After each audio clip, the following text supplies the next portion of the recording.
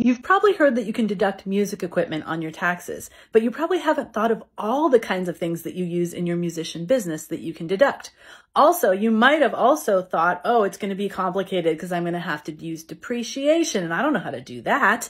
But on this episode of the Profitable Musician Show podcast, we talk about how you can use a special kind of deduction that doesn't have to involve all that complicated depreciation stuff take what they call a Section 179 deduction on anything under $2,500 mm. as far as equipment goes.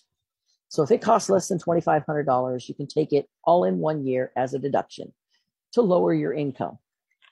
Um, the thing, the thing with that is, is that means if you go and buy a new guitar or buy an amp or, you know, buy a new trumpet, violin, anything like that, even by a computer that you're using in your studio. Yeah. Again, as long even, as it's even like a microphone or a um a webcam or any of those things, you can absolutely totally deduct.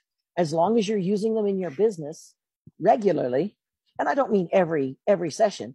You know, you might not use the the guitar. You have you have two guitars, an acoustic and electric, and you may not use the electric in every song you produce. That's that's not what's required. You just have to use it regularly.